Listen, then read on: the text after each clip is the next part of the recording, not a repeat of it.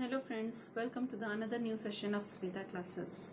Today we will be studying the 14th chapter of Enriching English Reader book of Standard 2. The name of the chapter is Three Friendly Farmers. We get food from crops. These crops are grown by farmers who work very hard in their fields. The life of a farmer is not easy. Let us read the poem to understand the daily life of a farmer. Three friendly farmers wake up with the sun, for it is early morning and the course must be done. The first friendly farmer goes to milk the cow. The second friendly farmer thought he would better plow. The third friendly farmer picks the ripe corn and waves to the neighbor when he blows his horn.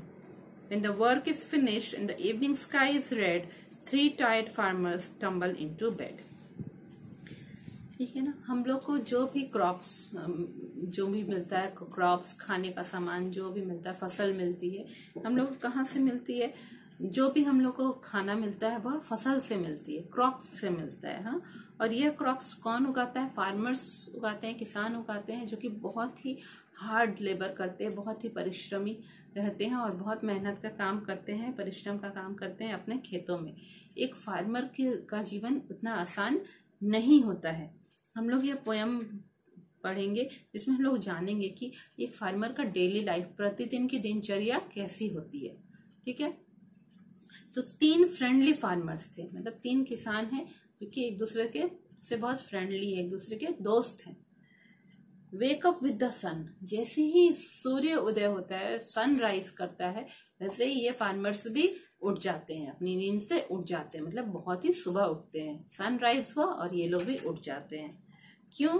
For it is early morning and the course must be done क्योंकि बिल्कुल यह सुबह का समय है, बहुत ही बिल्कुल जब सन उग रहा एकदम सुबह सुबह का समय बहुत ही अर्ली मॉर्निंग है four o'clock around four o'clock four thirty clock है, बिल्कुल सुबह का समय है, और जितने भी काम है, वो सब पूरे करने हैं, जितने भी उनके खेतों के काम है, उन सब उनको पूरा करना उनके घर का जो काम है।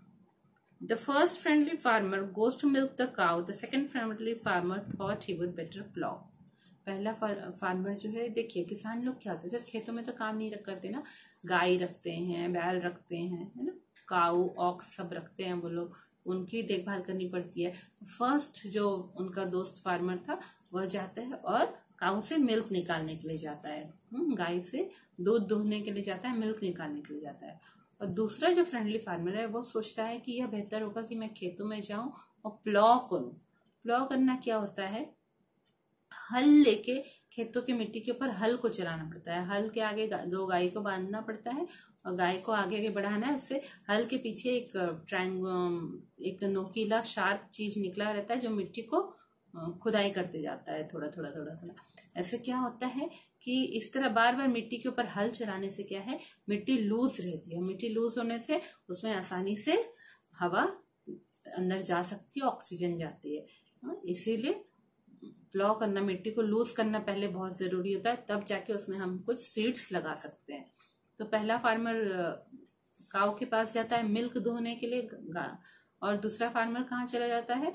वह खेतों में जाता है। सोचता है, ये बेहतर होगा, मैं जाके प्लॉ करूँगा, खेतों में हल चलाऊँगा। तीसरा जो फ्रेंडली फार्मर होता है picks the ripe corn ripe corn मतलब कि उसके खेतों में जो फ़सल हो गई है, जो कि राइप हो गई, पूरी पक गई है फ़सल। मतलब पूरा रेडी है, अब उसको तोड़ देना चाहिए। इससे आगे छोड़ेंगे तो वो सड़ जाएँगे।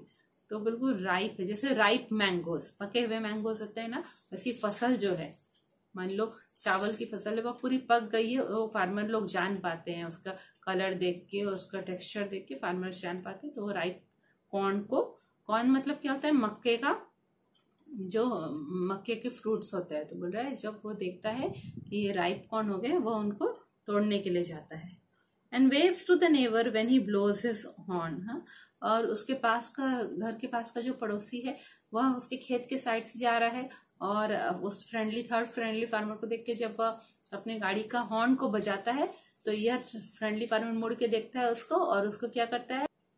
थर्ड फ्रेंडली फार्मर उसको वेव करता है मतलब उसकी तरफ़ देख के हाथ हिलाता है, खुशी से हाथ हिलाते हैं ना जब हम लोग किसी को देखते हैं तो अपने जान पहचान के लोग को। When the work is finish and the evening sky is red जब दिन भर का काम करके उनका काम खत्म हो गया और पूरा शाम का समय हो गया स्काई अब धीरे धीरे रेड कलर लेने लगा क्योंकि सन अब सेट हो रहा है सन अब डूब रहा है। उस समय स्काई थोड़ा थोड़ा रेड करने कलर होने लगा। उस समय तक ये तीनों फार्मर क्या हो गए? टायर्ड हो गया पूरी तरह थक गए। दिन भर खेतों का काम करके कोई भी थक जाएगा। धूप में बिना फ़ैन के और खेतों का काम करने से लोग थक जाते हैं। वो तीनों थक जाते हैं।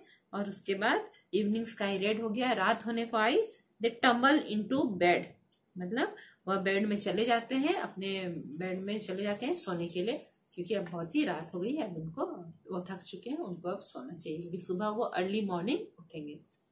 ठीक है ना? एक फार्मर का लाइफ इतना आसान नहीं होता है। वो बिना फ़ैन के, बिना भूखे प्यासे रह के वो खेतों में काम करता रहता है, पूरी धूप में। तो बहुत ही मुश्किल से वह फ़ूड ग्रेन्स हमारे लिए उगाता है, खाने की चीज़ उगाता है। इसीलिए हम लोग को खाना वेस्ट नहीं करना चाहिए, है ना? खाने को रिस्पेक्ट करना चाहिए। अच्छा पोयम था ना? आप लोग अपने फ्रेंड्स को भी ये पोयम सुनाइए, इस पोयम को मेमोराइज करिए और अपनी क्लास में भी सुनाइए। इस वीडियो को फ्रेंड्स के साथ शेयर करिए, मेरे चैनल को सब्सक्राइब करिए और बेल बटन को प्रेस कर दीजिए ताकि नेक्स्ट वीडियो आते ही आपको तुरंत पता चल जाए। Okay enjoy thank you